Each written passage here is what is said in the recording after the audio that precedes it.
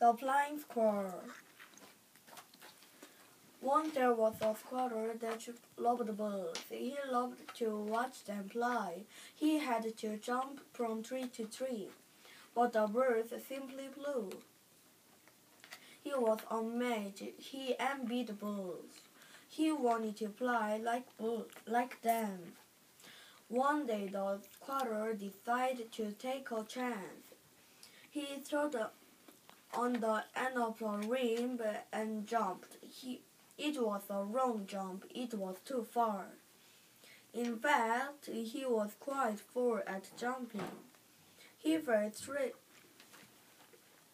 He fell straight to the ground.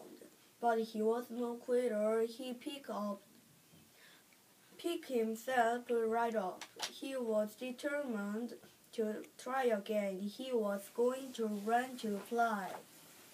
Did you did you did you see the squirrel trying trying to fly? Yes, I've been Yes, I've been trying for years. Me too. I can bur- I can barely get off the ground. The squirrel is plush. We can fly and we're birds. What makes it he can fly? Squirrel each can't fly. Like